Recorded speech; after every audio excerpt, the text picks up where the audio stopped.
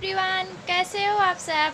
उम्मीद करती हूँ कि आप सब ठीक ही होंगे। तो गाइज़ आज मैं अपना ब्लॉग जो है, शाम से स्टार्ट कर रही हूँ। इस समय टाइम हो रहा है साढ़े चार। मैं आप लोग को टाइम भी बता देती हूँ। और देख रहे हो, आज मैंने अपने बाल को ऐसा बनाया है। ये देखो, जूड़ा बनाया है। ये सिंपल सा। कैसा लग रहा है बाल? फेस कैसा लग रहा है? ठीक लग रहा है? क्योंकि आज मैंने बाल को धुला था, फिर मैंने सोचा चलो आज जूड़ा बना लेते हैं और सिंदूर कुछ लगाए नहीं है। आज मैंने काजल लगाया है, बहुत कल लगाया था। तो उस ब्लॉग में मैंने काजल लगाया था तो काजल जो है छूटे नहीं है। इस, देखो। पता नहीं हमारे ऊपर काजल अच्छा लगता है कि नहीं। अब आप लोगों से पूछेंगे तभी पता चलेगा ना। कि आपकी भाभी के ऊपर काजल अच्छा लगता है कि नहीं अच्छा लगता? देखो। अच्छा लग रहा है ना? क्या है? आज मैं जो है ना सो गई थी। काम करते करते थक चुकी थी तो आपके भैया को खाना खिलाया फिर बर्तन सारे धुले। तब मैंने सोचा थोड़ी सी रेस्ट कर लूँ। अभी चाय बनाने की टाइम हो जाएगी नाश्ते की। आप लोग को पता ही लॉकडाउन की वजह से आपके भैया भी इस टाइम घर पे ही है। और लॉकडाउन तो तीन मई तक कर दिया गया है।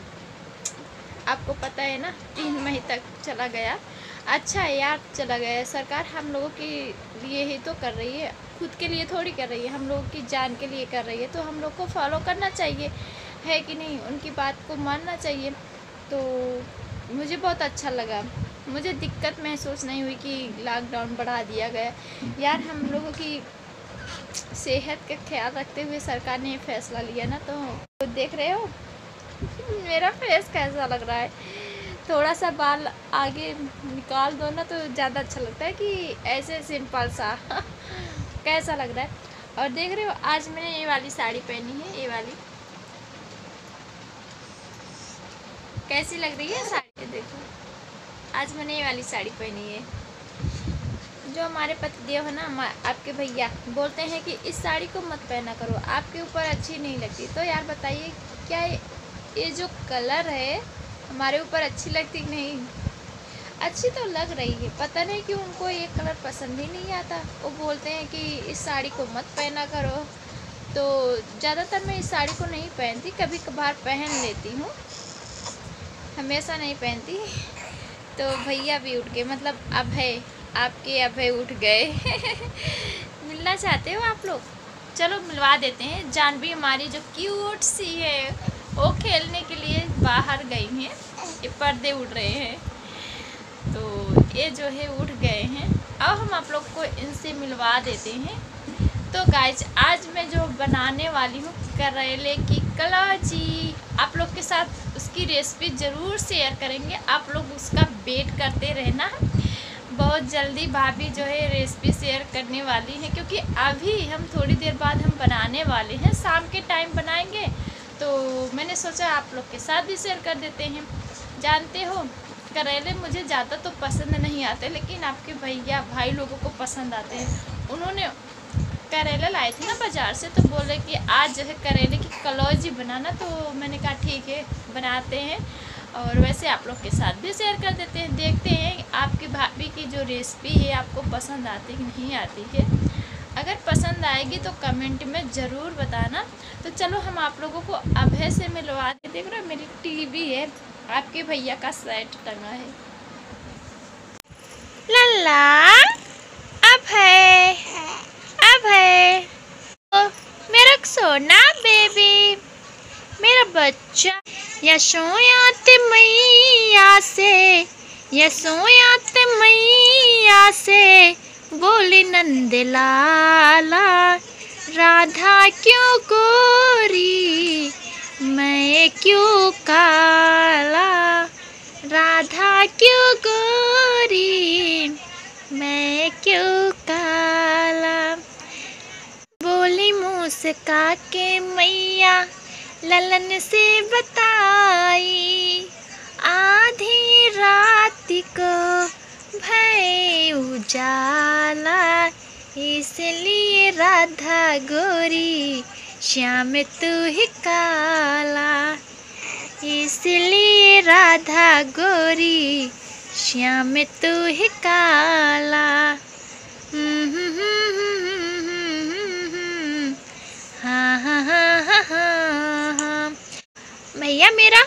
योगा कर रहा है, योगा।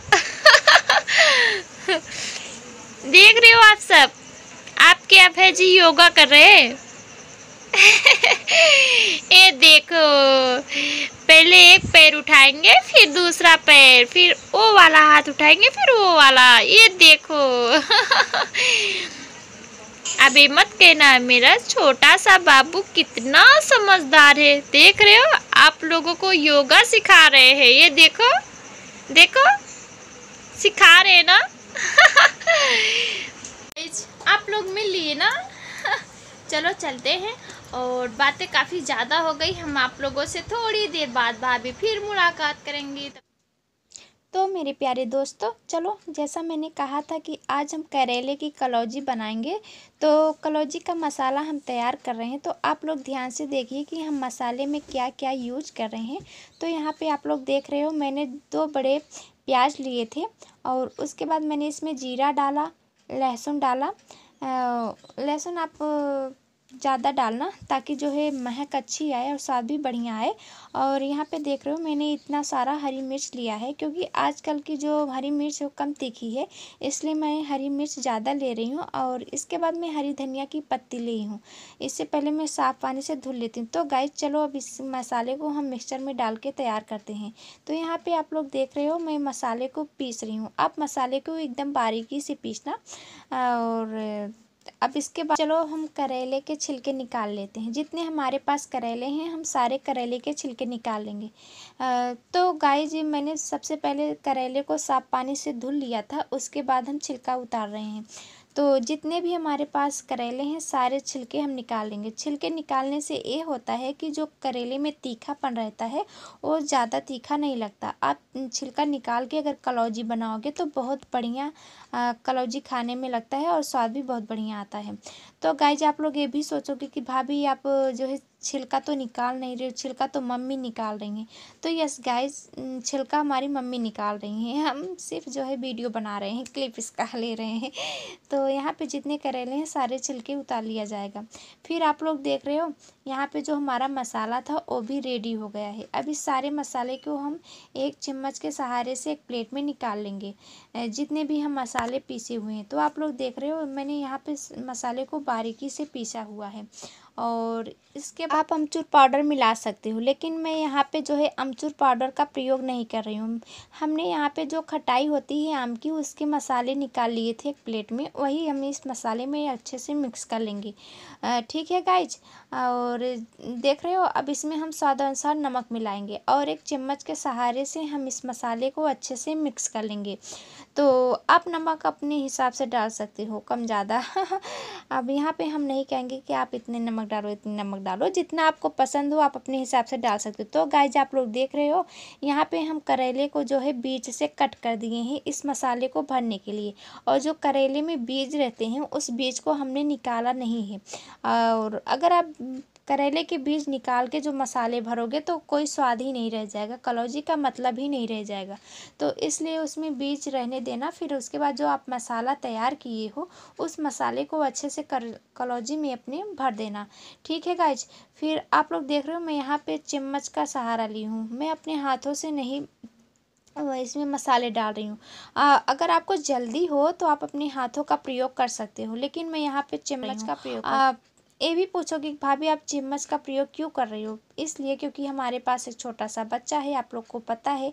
अगर हम हाथ का प्रयोग करेंगे तो हाथ में मिर्ची लग जाएगी और अभय को दिक्कत हो सकती है। इसलिए जो है, हम चम्मच का सहारा ले रहे हैं।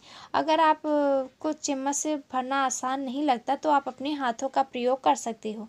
तो गाय चलो हम इसे फटाफट सारे करेलों को हम भर लेते हैं। फिर हम आप लोगों से थोड़ी देर बाद मुलाकात करते हैं। तब तक आप लोग देखिए कि हम किस तरीके तरीके से करेले भर रहे हैं। ठीक है गाइज़